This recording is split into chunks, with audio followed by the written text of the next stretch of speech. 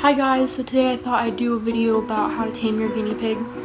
So the way I tamed my guinea pig is that, um, well Nibbles, she's the more tamed one, so I tamed her by, and I didn't really know a lot by, like about how to tame guinea pigs.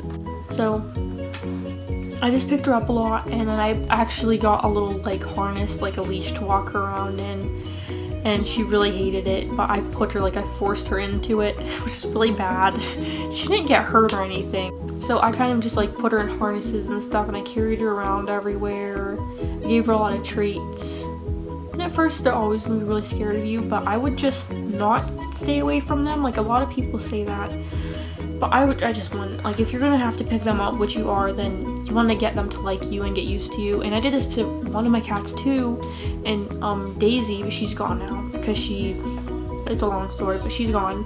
So she was really tame and that was only because we were like throwing her around and stuff when she was a kitten but we were really young so like we didn't know that, that was she really didn't get hurt but we were like like six years old so and then we got another cat and we didn't do that to him. And he's he's still pretty shy, but he like he hates being picked up. But Daisy loved being picked up. And so um, Nibbles is she's the one that I tamed a lot. Like you know I tamed my own way, and she's really like she's pretty tame. She's like no guinea pig really likes being picked up, but she's okay with it. And then Peaches is really like very shy. Like she's not come out when I'm around her barely. And she just is very shy. She rarely eats food out of my hand, and yeah. So, and the way I tamed her, and this is just, I, I, like, I got her after I got Nibbles, and so I tamed her, like, the way that, like, everyone was saying on YouTube to tame her, like, oh, like, um, don't touch them for the first two weeks. Just look at them and talk to them a lot, and talk around them a lot and stuff. So I did that. I never, I'd never picked her up or anything.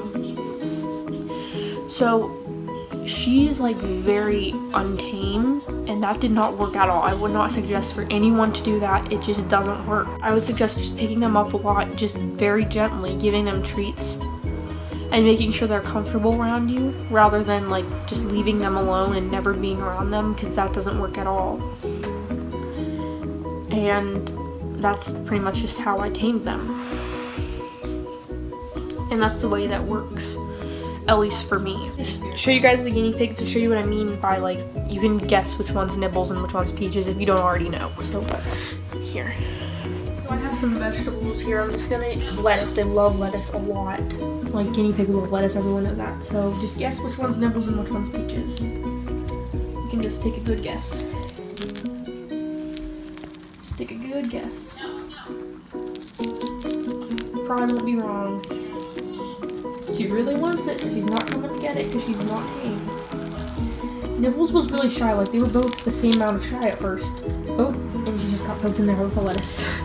so that's what I mean, like you can obviously tell which one's less tame. So you can obviously tell that Peaches is the orange one and Nibbles is the gray one. And they're really different. you might think it's their personalities, but I swear it's not. Like I that happened with our cats too, so it can't be a coincidence.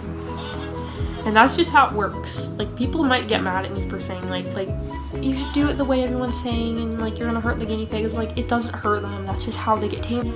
I hope this video was helpful. If it was, give a like, comment, and subscribe.